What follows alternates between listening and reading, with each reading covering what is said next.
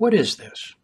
To try to answer this question, Phil and I hiked back to this unusual round rock structure that I had found several months ago along a creek in the heart of the California Motherlode.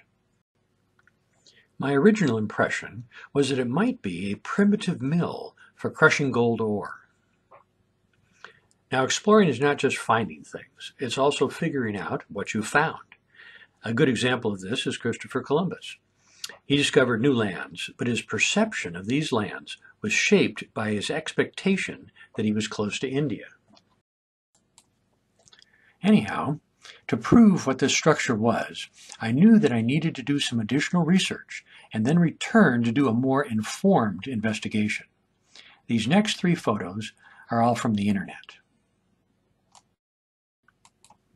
As this first photo shows, the large post in the middle of the mill is a very distinctive feature. I didn't find a post, but there was certainly a hole in the middle of the structure that a post could have been sunk into. Also shown are the very important drag stones that would crush the ore.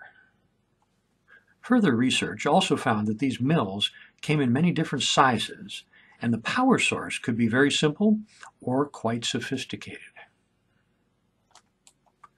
This photo shows that another critical feature to look for were the flat stones at the bottom of the mill.